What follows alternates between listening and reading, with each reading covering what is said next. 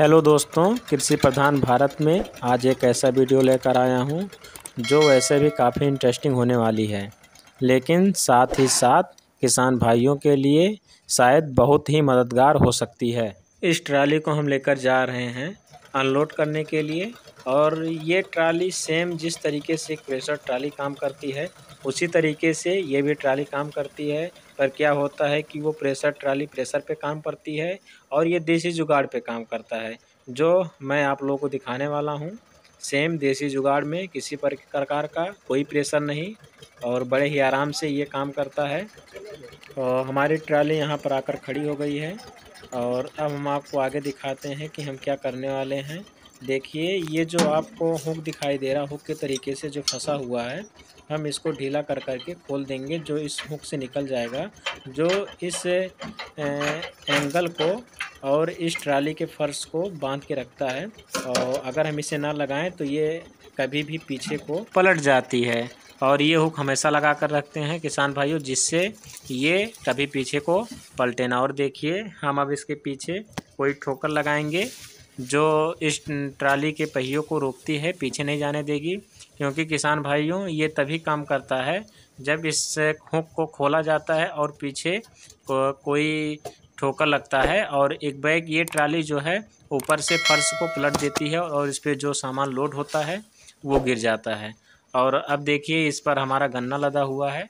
और देखिए हम इसको आगे से थोड़ा दो चार बोझ पीछे को कर रहे हैं, जिससे पीछे की तरफ़ लोड ज़्यादा हो और ये आसानी से हमारा जो गन्ना है, किसान भाइयों, गिर जाए। और चलिए अब आपको दिखाते हैं कि इस ट्रैक्टर से हम इस गन्ने को किस प्रकार से गिराते हैं। देखिए ट्रैक्टर आगे गया और फिर हमने एक बैग पीछे लिए, देखिए ये पलट गया। और इसके आप अंदर देखिए किसी प्रकार का कोई प्रेशर नहीं लगा हुआ है। और देखिए ये इस डंडे की सहायता से इस फर्श को और इस एंगल को बाँध के रखा हुआ है। और एक बैग देखिए झटके के साथ कैसे ये हमारा गन्ना गिर गया। बड़ी ही आसानी होती है। और इससे कोई काम करना, अगर इस पर कोई लोड है तो उसको अनलोड करना बहुत ही आसान होता है। हमें किसी प्रकार की, किसी प्रेशर की आवश्यकता नहीं होती है। देखिए किसान भाइयों, ये हमारा गन्ना कितनी आसानी से गिर गया। अगर ये जुगाड़ हमारे पास ना होता तो हमें कितना समय लगता? इस ट्राली को अनलोड करने में कितनी आसानी से हमारा काम हो गया? और ये सभी किसान भाइयों के लिए बहुत ही महत्वपूर्ण और आवश्यक है।